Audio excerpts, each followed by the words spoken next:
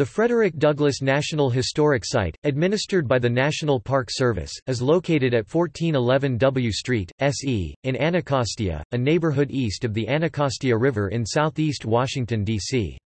Established in 1988 as a National Historic Site, the site preserves the home and estate of Frederick Douglass, one of the most prominent African Americans of the 19th century. Douglass lived in this house, which he named Cedar Hill, from 1877 until his death in 1895. Perched high on a hilltop, the site also offers a sweeping view of the U.S. Capitol and the Washington, D.C., skyline.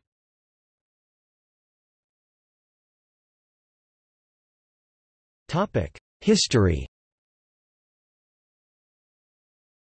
The site of the Frederick Douglass home was originally purchased by John Van Hook in about 1855. Van Hook built the main portion of the present house soon after taking possession of the property. For a portion of 1877 the house was owned by the Freedom Savings and Trust Company. Later that year Douglass purchased the home and eventually expanded its 14 rooms to 21, including two-story library and kitchen wings. The house has an L Shape and its plan is reminiscent of the design of Andrew Jackson Downing. With the election of President Rutherford B. Hayes in 1876, Douglass hoped for a political appointment, likely postmaster for Rochester, New York or ambassador to Haiti. Instead, he was appointed marshal for the District of Columbia, a role which he accepted.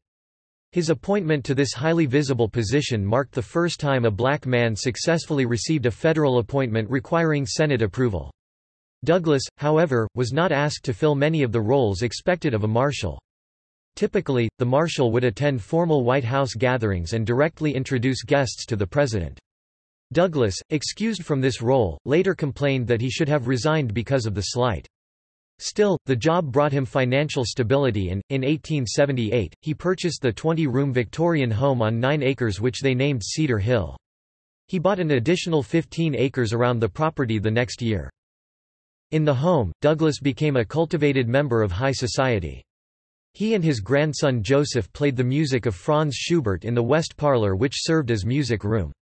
Here he also worked on what would be his last autobiographical book, Life and Times of Frederick Douglass, first published in 1881 and reissued ten years later.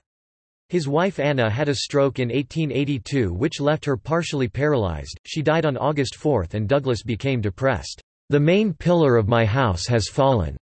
He wrote to a friend. In January 1884, Douglass applied for a marriage license at District of Columbia City Hall before heading to the home of Reverend Francis James Grimke and Charlotte Forten Grimke, where he married a white woman named Helen Pitts.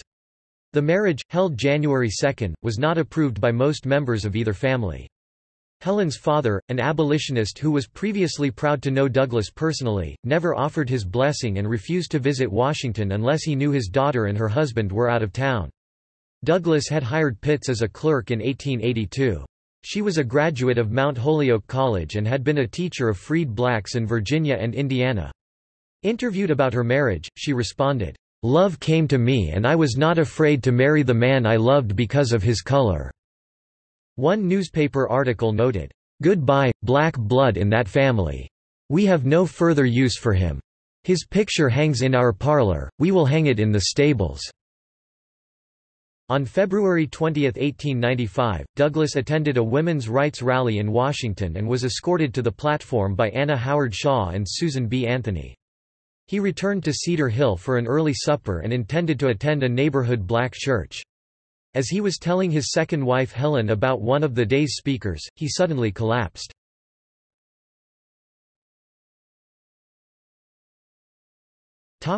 Later history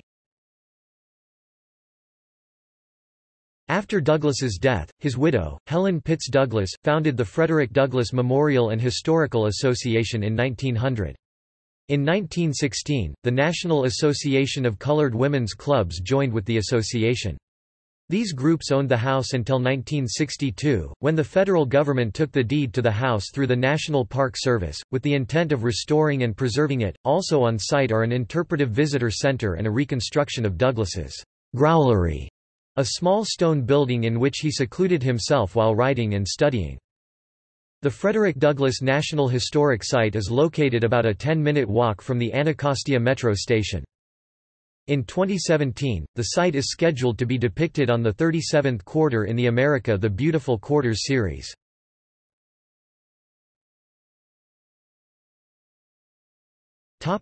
See also. List of museums focused on African Americans